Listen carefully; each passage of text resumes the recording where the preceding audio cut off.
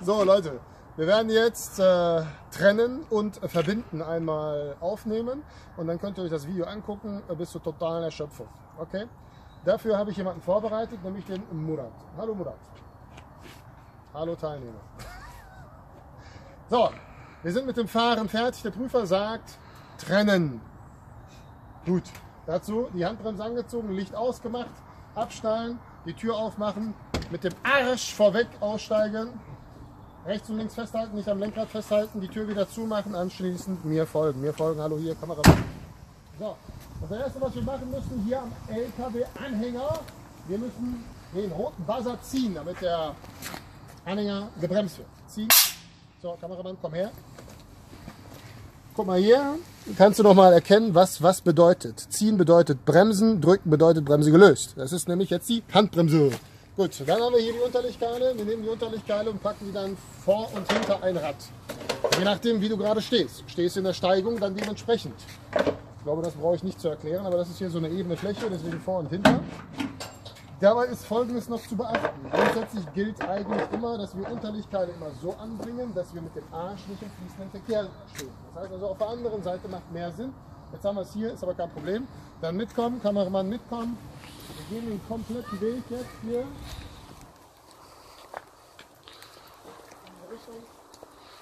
Das nächste, was wir machen müssen, ist unseren Stützbein runterkurbeln. Genau, achtet auf die Hände nochmal. Hier bitte mit offener Hand dagegen schlagen, ansonsten sind die Finger nämlich eingeklemmt. Anschließend rausziehen, so dass dieser, diese Welle hier draußen ist. Einmal gezogen, dann kannst du runterkurbeln. Und jetzt ist wichtig, Kameramann, komm mal her. Näher ran, näher ran. Und jetzt guck mal in diese Richtung. Er geht jetzt runter mit dem Bein und hebt das ganze Fahrzeug hoch. Und jetzt komm mal hier hin. Die Öse hier muss einen Zentimeter noch nach oben gucken, weil beim Rausfahren muss der Bolzen die Öse nämlich berühren. Liegt aber unten auf, dann wird er beim Rausfahren, der Bolzen wird nicht berührt. Schau mal hier. Das sieht dann so aus. Anhänger, Bolzen. Wir werden also den Bolzen gleich nach oben machen. Und beim Rausfahren muss er ihn also berühren, ansonsten geht er nämlich nicht nach unten. Okay, Bolzen. So, wir sind hier fertig. Wunderbar. Jetzt gehen wir wieder auf die andere Seite.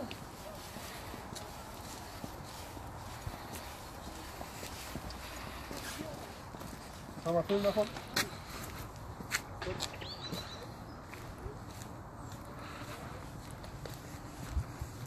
Und nun sind auf dieser Seite, jetzt müssen wir erstmal die Stromkabel entfernen.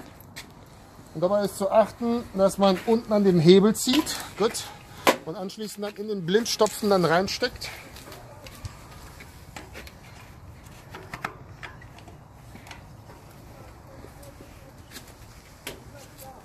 Dann haben wir hier die Druckluftschläuche. Hier, Kameramann, hier ist meine Hand. Kameramann, das wirst du schon hinkriegen. So, bei den Druckluftschläuchen, Achtung, den Hebel nicht einfach plötzlich runterziehen, sondern langsam, sonst knallt es. Das sind 12 Bar, die da rausschießen. Nicht, dass du dann Tinnitus hast. Einfach dort runterhängen lassen, fertig. Jetzt müssen wir einfach nur, zeig mal auf den Hebel bitte, den Bolzen hoch machen und dazu muss er jetzt einfach drauf drücken. Entweder passiert genau das, dass es jetzt nämlich klemmt. Ich mache mal einmal vor, das ist die Öse, das ist der Bolzen, der ist da drin und der hakt jetzt gerade so ein bisschen. Warum auch immer. Das heißt, wir müssen das Ganze jetzt ein bisschen entspannen. Entspannung sorgen wir entweder dafür, indem wir zum Beispiel hier die Handbremse einmal lösen und auch zusätzlich die normale Betriebsbremse einmal lösen. So, jetzt hat sich das ganze Fahrzeug ein bisschen entspannt. Jetzt versuchen wir es mal. Zieh noch mal den Hebel. Gut, hat also wunderbar geklappt. Und danach aber bitte nicht vergessen, nochmal die Handbremse zu ziehen.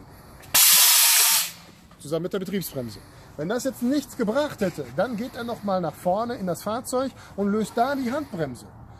Das Fahrzeug entspannt sich wieder, die Kombination, dann zieht er die Handbremse wieder an, kommst wieder nach hinten und versuchst dann wieder. Klappt es wieder nicht, warum auch immer, sehr, sehr unwahrscheinlich. Also wenn du besonders viel Pech hast und bei Tandem-Anhängern passiert das vielleicht einmal in, sagen wir mal, 100 Prüfungen, dann gehst du nochmal auf die andere Seite und kurbelst das Bein so 1 cm hoch, 1 cm runter und dann versuchst noch einmal. Wenn es wieder nicht geklappt haben sollte, wiederholst du wieder die Bremse dort, die Bremse dort, Bein hoch und runter. Irgendwann wird schon klappen. Wenn nicht, dann hast du halt ein scheiß Leben.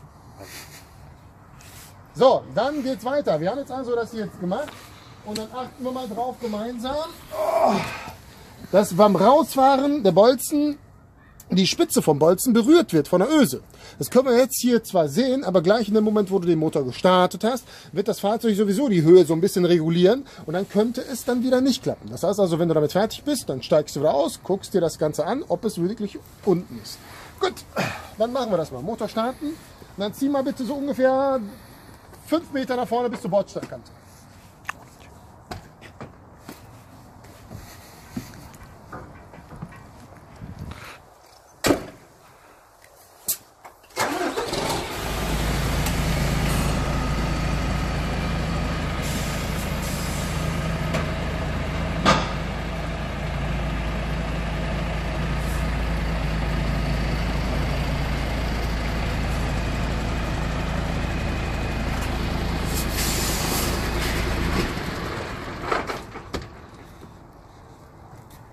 So, Kameramann, komm mal her. Wir gucken uns das jetzt hier an, was wir hier sehen. Wir sehen, dass der Bolzen unten ist, der Hebel ist unten und wir haben hier noch einen Sicherungsstift. Dieser Sicherungsstift ist jetzt auch drin und somit sind wir fertig. Das heißt, du sagst dem Prüfer, das war's. Mehr brauchen wir nicht zu machen. Das war Trennen. Trennen ist natürlich ganz einfach. Aus. Tamam. Ana kartı orada lan. Para çekeriz ha. Abi ya. Okay, okay, okay. Also, so, jetzt sind wir Trennen fertig. Jetzt wollen wir Verbinden machen. Dafür brauchen wir zunächst einmal einen Fahrer. Komm mal her, mein Fahrer. Das ist Murat. Murat, der Fahrer. Der ist stark, der ist gut. Okay. So, Murat, du sollst jetzt ähm, in, der in der praktischen Prüfung den Anhänger jetzt verbinden. Das ist jetzt äh, deine Prüfungsaufgabe. Zunächst einmal musst du dem Prüfer erklären, was du am Anhänger so alles kontrollierst. Das heißt also, du sagst, ich muss, bevor ich überhaupt irgendetwas verbinde, erstmal checken, darf ich überhaupt damit fahren. Das heißt, du kommst jetzt erstmal mit. Wir gucken uns den Anhänger mal jetzt gemeinsam an. Zunächst einmal ist das ein niegellageneuer Anhänger, ungefähr ein Jahr alt. Aber es ist eine Wechselbrücke. So, bei dieser Wechselbrücke, was haben wir da? Wir haben hier die sogenannten Pilze. Die müssen quer zur Fahrtrichtung sein. Wenn wir uns das mal angucken, das heißt so, wie jetzt zu sehen, in diese Lücke gucken, in dieses Loch. Wenn es so ist wie jetzt, dann sagen wir dem Prüfer, diese Pilze sind quer in Fahrtrichtung und so müssen die sein. Sie müssen auch gesichert sein. Wir haben hier dafür auch noch eine Sicherung. Guck mal hier unten. Da, die Sicherung ist also vorhanden. So, die Container an sich haben noch Beine, diese Stützbeine. Diese beiden Stützbeine, und diese vier Stützbeine, die müssen doppelt gesichert sein. Einmal hier und wir haben hier noch einen Hebel. Dieser Hebel muss auch quer in Fahrtrichtung sein. Den können wir auch ziehen, dann ist er längs in Fahrtrichtung. Quer in Fahrtrichtung. Gut. Die Handbremse ist angezogen. Die Unterlichtkeile sind vorhanden. Die Reifen müssen in einem Tip-Top-Zustand sein, nach Möglichkeit. Über 1,6 mm Profiltiefe, keine Fremdkörper, keine Beschädigung, nicht porös, keine Risse. Die Felgen genauso, nicht durchgerostet, keine Brüche. Die Radmuttern müssen alle vollzählig sein und alle dann dementsprechend gleichmäßig drin sein. Also eine vernünftige Abfahrkontrolle muss man machen. Das machen wir bei allen Reifen. Die Radkästen, der Rahmen, keine, äh, kein, kein, nicht, keine Risse oder sowas ähnliches. Auf der Rückseite, die Beleuchtungseinrichtung muss vorhanden sein und sauber sein. Kontrolle, ob die Beleuchtungseinrichtung funktioniert, können wir erst dann machen, wenn wir das Fahrzeug verbunden haben. Das kommt später erst. Dann gucken wir uns die Sicherheitsprüfung, also SP an. Ob wir noch SP haben, haben wir bis 2019. Die HU haben wir auch bis 2019 und zwar bis März, bis Ende März 2019. Das ist also auch gut. Wir machen die Ladefläche auf, was ich jetzt nicht machen werde, aber den Hebel einfach nach oben machen, reingucken, ob da irgendwelche Flüchtlinge drin sind. Wenn nicht, dann ist gut, dann geht es hier weiter. Auf dieser Seite genau das gleiche wie auf der linken Seite in Fahrtrichtung auch. So, besonders im Winter müssen wir jetzt darauf aufpassen und dem Prüfer auch sagen, dass wenn da Schnee oder Eisplatten drauf sein sollten, dass wir die natürlich dann auch runterholen müssen. Okay? Das hast du dem Prüfer alles erklärt. Dann sagt der Prüfer, okay, wunderbar. Dann sieh zu, dass du die Fahrzeugkombination verbindest. Da du jetzt rückwärts fahren musst, musst du unbedingt sagen, ich brauche einen Sicherungsposten. Dann suchst du jemanden aus, den Prüfer oder mich. Natürlich mache ich dann den Job. Das heißt, ich stelle mich dann dahin. Sobald ich dir so ein Zeichen gegeben habe, darfst du dann auch rückwärts fahren. Okay? Nun ist es so, wir haben hier die Anhängeröse. Wenn du gleich mit deinem Fangmaul ungefähr 50 cm entfernt bist, dann musst du anhalten. Das von dort aus zu sehen, ist natürlich sehr schwierig. Deswegen darf ich dir auch dort eine Hilfeleistung, eine Hilfestellung geben. Ich mache die Arme so, wenn wir noch so einen Abstand haben sollten. Und dann bewege ich die Arme dann immer näher, immer näher, immer näher. Und wenn ich dann die Hände so halte, dann heißt es für dich 50 cm sind erreicht. Das heißt, wir sind genau hier. Und dann solltest du anhalten. Okay? bin dann auch äh, links von dir und nicht rechts, sondern kannst mich also im linken Spiegel beobachten.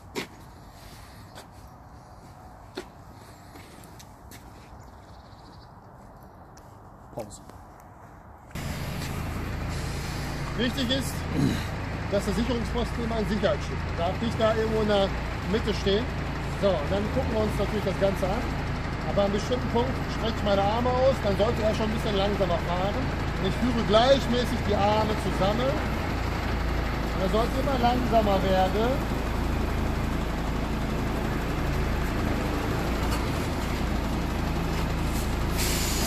Das war schon eine ziemlich knappe Kiste. Ne?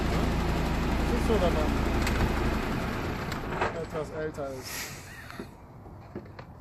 Komm, alter Mann. das schneide ich raus. So, was sehen wir hier? Wir sind jetzt knappe 50 Zentimeter entfernt. Ja. Das passt genau. Das passt genau. Wir gucken uns das jetzt mal an hier. Und zwar, guckst du mal bitte die Höhe an. Wie du sehen kannst, ist die Ösen ein bisschen zu hoch. Wir sollten also schon ein bisschen runterkurbeln, so einen halben Zentimeter vielleicht, einen Zentimeter.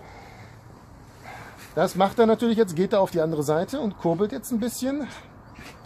Und dann, wenn er damit dann fertig ist, noch weiter, weiter, weiter, weiter, weiter. Perfekt. Okay.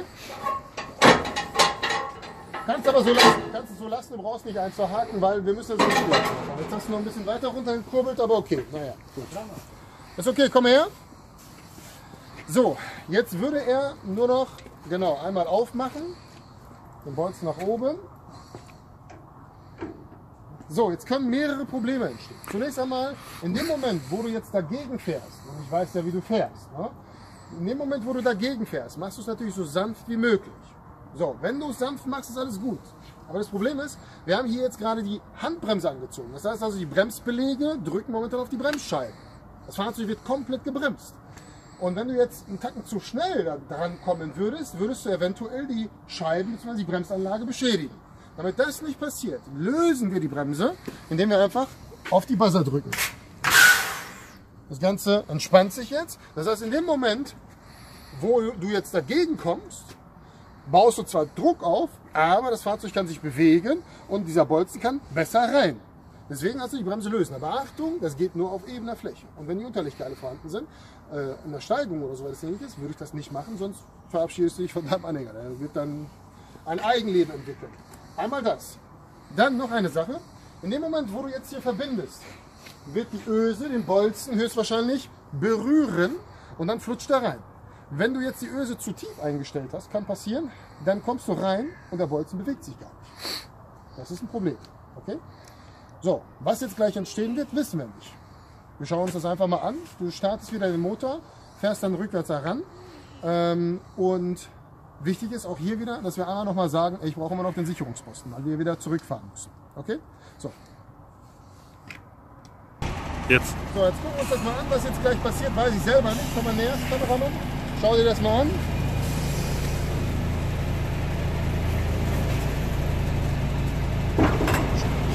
Handbremse anziehen, Motor laufen lassen, komm raus. So, Kameramann, komm mal her. Was sehen wir hier? Hat sich noch nicht kein bisschen bewegt, wie du sehen kannst. Ne? Warum? Weil er nämlich gerade die Öse zu tief eingestellt hat. Wir haben jetzt gerade die Öse zu tief eingestellt, deswegen hat er den jetzt nicht berührt. Genau das, was ich jetzt gerade vermutet habe, was passieren kann, haben wir jetzt. In so einer Situation überhaupt gar kein Problem. Das Einzige, was du jetzt machen musst, ist, du fährst wieder so einen halben, Zentimeter, ach, einen halben Meter vor, 50 Zentimeter vorfahren und dann kurbelst du ein bisschen hoch, okay?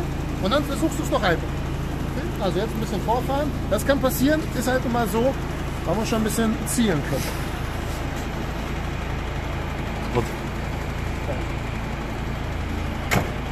So, Versuch Nummer zwei. Mal gucken, ob es diesmal klappt. Jetzt haben wir ein bisschen hochgesetzt, so einen Zentimeter.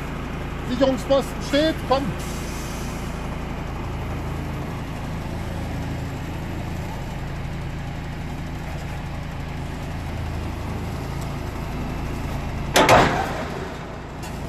Handbremse anziehen, Licht aus, Motor aus.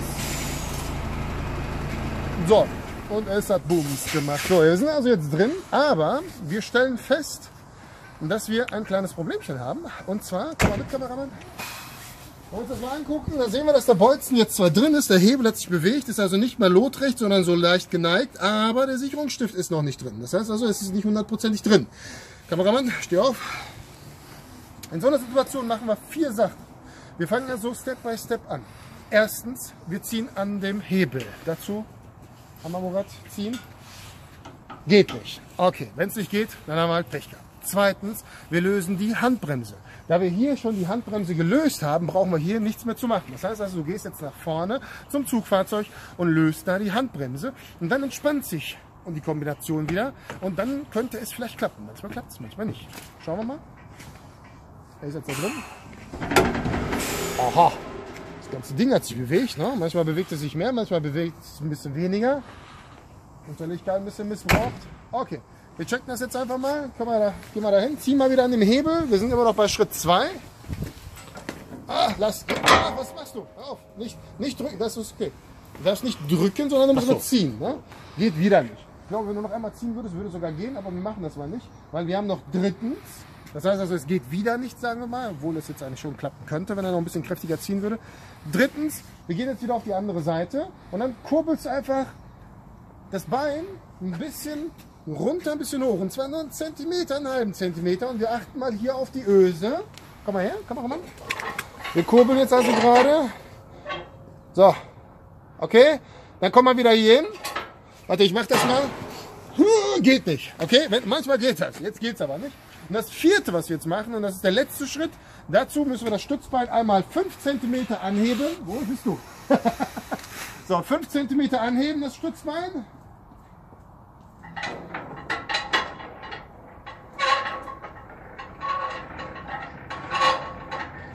Ah, okay, stopp. So, dann würden wir noch einmal kurz testen. Wenn es geht, dann ist super. Wenn es nicht geht, dann geht es weiter. Wir sind immer noch bei viertens. Komm mal bitte auf diese Seite. Wir müssen jetzt nun mal den Anhänger ein bisschen bewegen.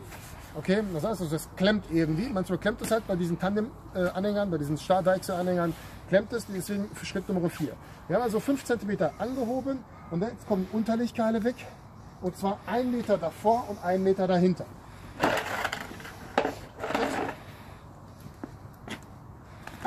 Wunderbar. Und jetzt vergewissern wir uns, dass wirklich auch die Bremse gelöst ist. Wir drücken also nochmal. Alles klar, die Bremse ist also gelöst.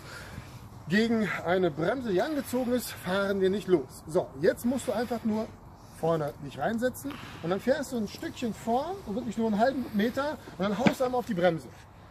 Ja. Und äh, Sicherungsposten sagst du natürlich auch nochmal. Ne? Das heißt, du startest jetzt den Motor. Klappt definitiv. So, der Fahrer ist jetzt drin und so, zeig mal dahin. Bleib hier. So, der Sicherungsstift ist noch. So, bewegt sich und stopp. Ja, das war zu schwach. Ein bisschen weiter vor und dann hart bremsen. Stopp. Okay. Handbremse anziehen, Motor aus. So, Kameramann, komm mal mit. Guck dir das an. Der Sicherungsstift ist jetzt ganz drin. Ne, das geht eigentlich nur, indem du ein bisschen vorfährst und dann kräftig auf die Bremse drückst. Jetzt kräftig Gas geben brauchst du jetzt nicht unbedingt. So, Hammer. Ist drin. Hast du geschafft. Super. Jetzt komme ich unter Lichtkarte nur noch da drunter. Du gehst auf die andere Seite nach hier.